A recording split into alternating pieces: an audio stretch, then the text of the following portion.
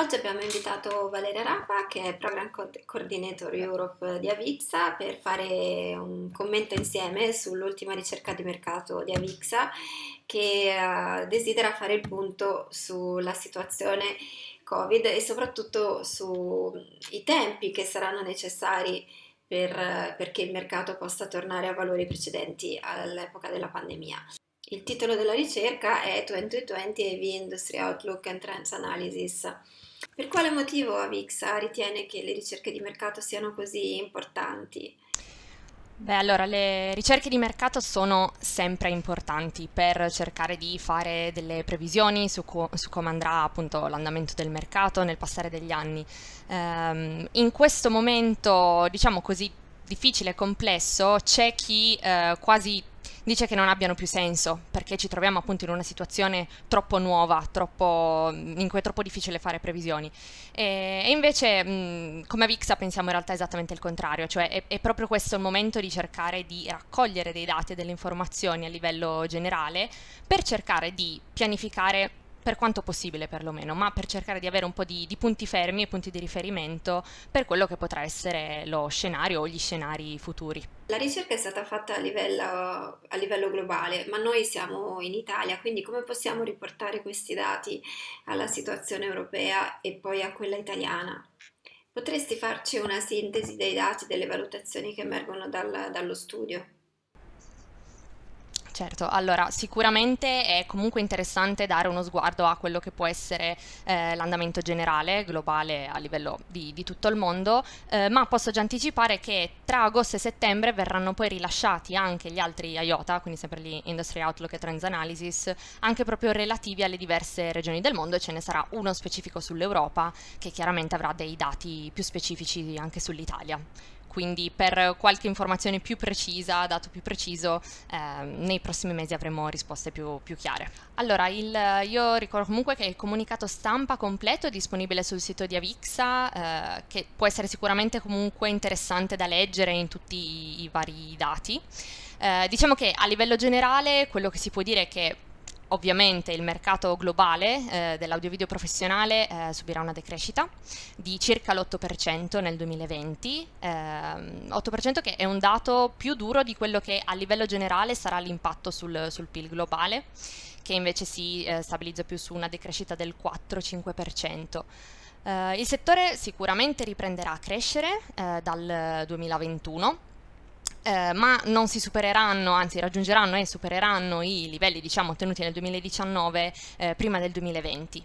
Uh, eh, e uh, appunto dati alla mano si prevede che uh, il settore aviprofessionale genererà circa 269 miliardi di dollari in ricavi appunto dal 2022 in avanti. E questo è un po' diciamo il succo completo dell'analisi. Lo studio prevede una decrescita e poi una crescita veloce, a, più veloce di quella che ci sarebbe stata in assenza dell'evento pandemia. Eh, secondo voi perché mh, questo si andrà a verificare? Eh, sì, può sembrare strano, ma in realtà anche dando uno sguardo anche a livello, diciamo, di, delle crisi passate eh, nella, nella, storia, c'è sempre stata questa tendenza di crescita ancora più rapida di quella che ci sarebbe stata senza il momento di crisi. Questo perché tutti i settori, l'economia di base, una volta che si riprendono, cercano di tornare a quello che era il livello pre-crisi e quindi ci sarà una crescita più rapida. Ovviamente ci vorrà del tempo, non sarà una cosa immediata e Ovviamente il fatto che il tasso di crescita sarà più alto e più rapido non significa però che eh, ci si riprenderà completamente e si raggiungeranno appunto come dicevo prima i livelli eh, che si erano auspicati prima. Quindi eh, sì, ci sarà una crescita, una crescita, veloce, ma per raggiungere eh, diciamo, i livelli che si erano previsti eh, per questi anni del 2020, 2021 e 2022 in realtà si dovrà aspettare il 2025. Quindi sempre per dare uno sguardo ai dati e fare un po' di eh, esempi proprio pratici, eh, si era previsto, prima di, di, della crisi, che eh, si sarebbero raggiunti nel 2024 i 325 miliardi di dollari, Eh, adesso si prevede comunque una crescita in, in questo senso, ma eh, con un massimo di circa 315 miliardi di dollari nel 2025. Quindi appunto si crescerà rispetto a quello che c'è stato eh, l'anno scorso e senza dubbio quest'anno, ehm, velocemente subito e poi senza però raggiungere il, il massimo che si era previsto prima. Quali sono i mercati verticali che secondo voi reggeranno meglio in questo periodo e quelli che si riprenderanno anche meglio nell'epoca post pandemia? Allora, senza dubbio il mercato corporate è quello che rimane eh, quello principale per l'audio professionale, ha 52 miliardi di dollari previsti per il 2020. Eh, si prevede che anche i mercati dell'energy, utility e trasporti subiranno un tasso di crescita molto alto, eh, complessivamente anche qui nel periodo di tempo previsto tra il 2020 e il 2025, eh, circa del 10% ciascuno. E eh, senza dubbio un dato interessante è il fatto che tutte le nuove direttive in merito a salute e sicurezza eh, guideranno questi cambiamenti anche in relazione a tutti i temi della smart city, smart grid e dei trasporti. E questo è sicuramente un tipo di trend che non era prevedibile prima della crisi e che sarà molto peculiare di questo tipo di, di situazioni in cui ci troviamo. E lo studio evidenzia anche come il Covid forzerà l'innovazione, ma questo che cosa significa esattamente? Beh, allora, come tutti abbiamo ovviamente potuto, abbiamo potuto fare esperienza uh, in, in, prima persona, uh, questa situazione di, di, crisi sanitaria, di pandemia, ha portato alla distanza sociale e questo è successo in modo più uh, pesante o meno pesante, più incisivo o meno a livello di tutto il mondo. E sicuramente questo ha cambiato il modo in cui interagiamo tra di noi, ma anche il modo in cui ci relazioniamo ai contenuti che ci vengono proposti. Eh, gli eventi di persona si sono dovuti fermare, non hanno potuto avere luogo quasi ovunque eh, e quindi ci si è diciamo abbastanza naturalmente spostati su, sugli eventi da, da remoto. Eh, molti dipendenti di vari settori, varie realtà eh, hanno dovuto cominciare a lavorare da casa e tutto questo spostarsi diciamo in una realtà un po' più virtuale era già un trend esistente, ma che ovviamente eh, per, per, diciamo, per, via di, di, questa emergenza ha dovuto accelerare moltissimo. Eh, molte aziende hanno dovuto per forza di cose eh, adattarsi più rapidamente, eh, innovare per riuscire a rimanere produttive e competitive, eh, perché l'alternativa era fermarsi e ovviamente non era, non era mh, possibile prendere in considerazione questa cosa. Um, un esempio pratico anche che possiamo fare anche come Avixa è come gli eventi live, quelli che erano la- nati proprio come eventi solo in, in presenza, eh, si sono pian piano ibridizzati, sono diventati un po' più ibridi.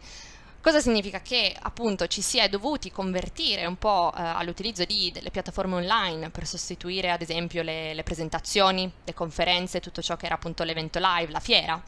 Um, e questa cosa qui non si perderà del tutto, cioè il fatto di essere riusciti a passare, eh, a innovarsi e riuscire a passare, a spostarsi a un livello più eh, di appunto realtà online, virtuale, eh, non si perderà. E probabilmente quindi anche quando si potrà tornare a fare gli eventi in presenza eh, si manterranno i, diciamo, i, vantaggi, i lati positivi dell'avere anche eh, una, una possibilità online. Quindi ad esempio una possibilità di raggiungere un pubblico maggiore perché eh, se c'è la possibilità di seguire l'evento o parte dell'evento eh, anche da remoto, eh, sicuramente anche chi non ha la possibilità magari di viaggiare, di raggiungere il luogo dell'evento può partecipare da, da remoto. Eh, oppure eh, si possono registrare gli eventi o gli interventi, le conferenze, sono poi visibili in un secondo momento e questo sicuramente eh, non può che portare anche valore aggiunto agli, agli eventi in sé. Questo ha toccato anche l'ambito uh, education, della formazione, della scuola,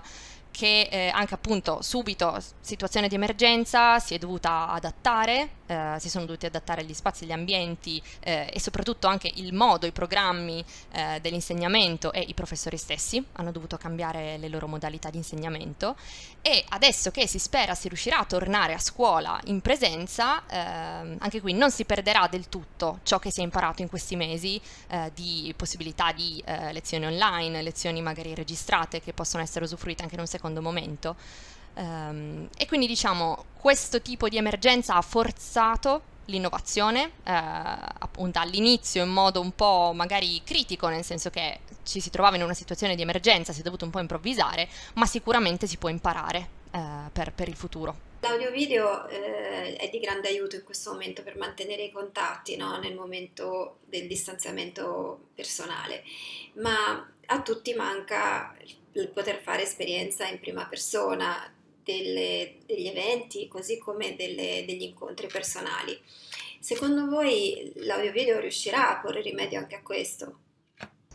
Assolutamente sì, e non solo, abbiamo anche un ruolo da protagonisti perché ovviamente per realizzare tutto ciò che è questa, eh, questo, che dicevamo, questo spostarsi a livello più online eh, di videoconferenza, eventi live in streaming, ovviamente eh, il settore dell'audio video non può che essere il protagonista di tutto questo cambiamento. L'experience diciamo di di persona in presenza a cui siamo abituati eh, ci manca e quindi senza dubbio il trend sarà quello di cercare di tornare il più possibile a, a come era la situazione prima. Eh, non è detto che sia possibile del tutto, non è detto che sia possibile subito.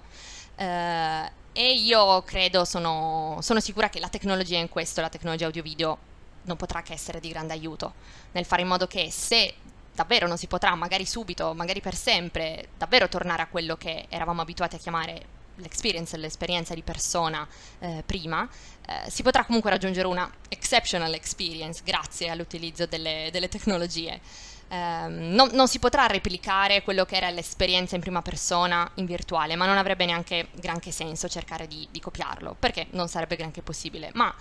senza dubbio si può appunto fornire un valore aggiunto al pubblico. Eh, cercando quindi di trarre da, da questo grande momento di difficoltà delle opportunità di, di crescita. E come dicevo, questo eh, cambiamento è, eh, in cui appunto questo tipo anche di eventi in persona diventano sempre più ibridi, eh, mescolati anche al virtuale, eh, porteranno a sicuramente un tipo di experience diversa, ma non per questo meno di valore.